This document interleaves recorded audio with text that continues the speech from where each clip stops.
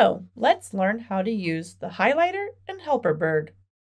You can search for highlighter and you can find it under writing tools. Click to toggle highlighter on. The highlight menu needs to be turned on. Now, if you highlight some text, the highlight menu will appear and you just click the highlight button to highlight that text in a color.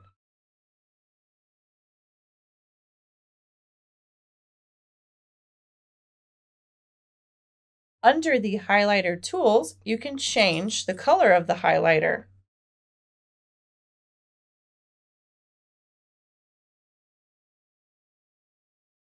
Your highlights will remain even if you reload or navigate away from the page. A cool feature to the highlighter tool is each selection of highlighted text can become a note in the Notes app. Launch the Notes app to see all your notes and different text you've highlighted across the web.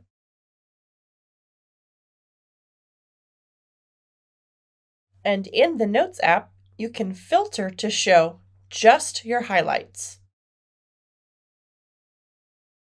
And that's how you use the highlighter in Helperbird.